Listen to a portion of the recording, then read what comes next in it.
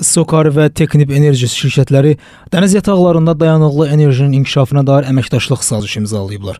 Saziş çərçivəsində dənizdə aparılan neft və qaz çıxarma əməliyyatlarında enerji effektivliyinin artırılması, ümumi sahibkar xərclərinə qənaət, eləcə də karbon emissiyanının azaldılması istiqamətində dayanıqlı inkişaf imkanları araşdırılacaq.